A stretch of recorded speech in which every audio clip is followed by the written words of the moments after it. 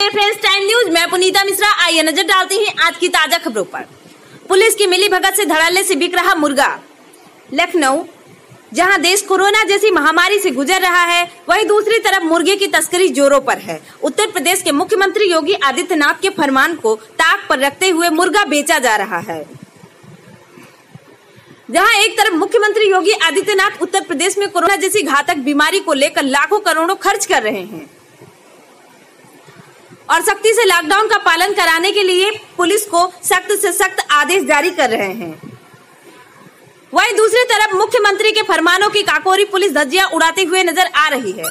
राजधानी लखनऊ के थाना काकी चौकी के अंतर्गत पुलिस की मिली भगत से मुर्गे की बिक्री जोरों पर है, जहाँ शासन प्रशासन मीट के कारोबारियों पर नकेल कसे है। वहीं दूसरी तरफ़ थाना का पुलिस की मिली भगत से खुले में मुर्गा बिक रहा है। पत्रकारों द्वारा फ़ोटो खींचने पर पत्रकारों से अभद्रता की गई।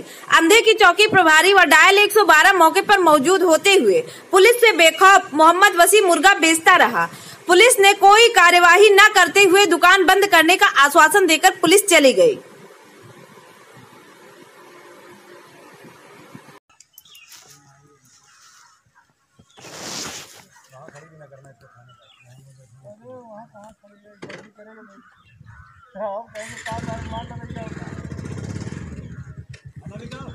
थोड़ा मोबाइल हाथ से छीन लेगा इसका नंबर है मोबाइल हमारा है उसी का नंबर अभी हम दे रहे हैं का नंबर अभी हम दे रहे हैं गया नंबर मिल जाएगा वो।